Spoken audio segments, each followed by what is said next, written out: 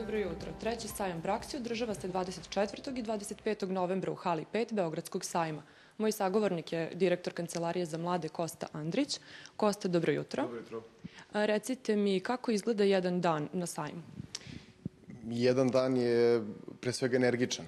On podrazumeva razgovor mladih ljudi koji nemaju radno iskustvo sa predstavnicima preko 100 kompanija i ono što je negdje cilj samog sajma to je da mladi na licu mesta mogu da saznaju kako se razgovara sa poslodavcem, da se upoznaju koje su to stručne prakse koje oni nude, ali svojevrsna priprema za ono kasnije što sledi, to je pronalazak posla, tako da je i dobar savet da se pripreme za sajam, što mogu da saznaju koje se prakse nude, kako da, da napišu dobar CV, koje su iskustva od prethodnih godina i da dođu već sprem, spremni četvrtak u halu broj 5.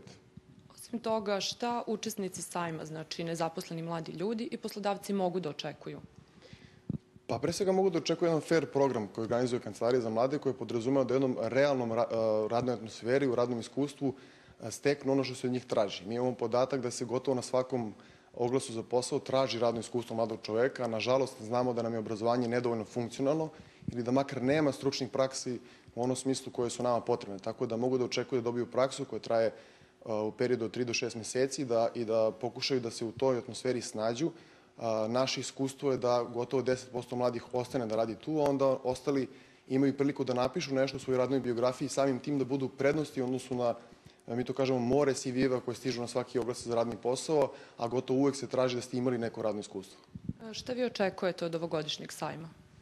Pa očekujemo pre svega jaku konkurenciju. Mislim da je to, da je to jako važno. Očekujemo da a, bude puno kandidata na svaku radno mesto. Trudili smo se da za sve obrazovane profile postoji određena ponuda. Naravno, očekujemo da i kompanije koje su došle na sajam, a i mladi ljudi, uglavnom studenti i srednjoškolci, budu zadovoljni ponudom.